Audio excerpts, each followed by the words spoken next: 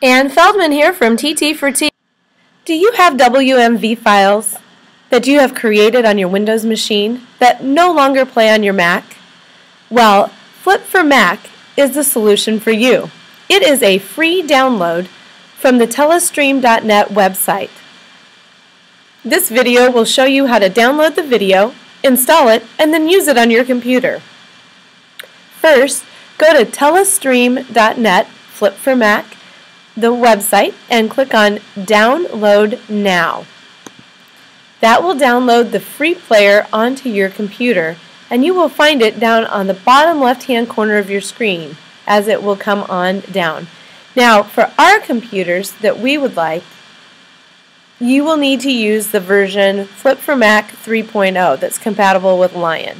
So you just click on Download Now and follow the on-screen prompts that prompt you along. You will see that file appear down in the bottom left-hand corner of your screen and it will let you know how much download time that you have.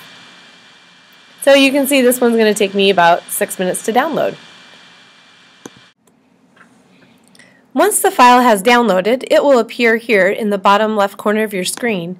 Then all you need to do is click on Open and that will open up the Flip for Mac software that you downloaded and then you'll be able to work with that file here in just a minute because we'll want to put that into your applications and you may even want to put it down here at the bottom of your screen in your dock if it's something that you're going to use often. So once that downloads it'll say that it's verifying and then it'll open up that file on your computer. Now once it's in here you can always check your files that have been downloaded a couple different ways. One of my favorite ways is to find it in your Finder. That's a very easy way to find it. So if I go down to my dock and I look for the little happy Finder guy and click on it, I'll be able to um, see my file. It may also just pop up for you, in which case you can just find it there um, where it has been up on your screen. So then for my case here, we'll just go Windows Media Installer, just go ahead and double click and that will install my Flip for Mac package on my computer. I'm also going to want to install the Silverlight from Microsoft too. That one's helpful. You'll need that if you use sites such as Tagxedo, for example. It will ask you to have the Microsoft Silverlight installed. So go ahead and just double click on that. It will start installing then again on your computer. You just need to follow the on-screen prompts. One of the things that it may ask you as you continue through all of these prompts is um, that you'll need to also put in your password for your computer. So when you install, install things, you just continue, continue, continue, agree to everything that you see, and then once you click on that install button, it may ask you to type in that password on your computer. So I'll put in my secret code, install that software, and then away it goes.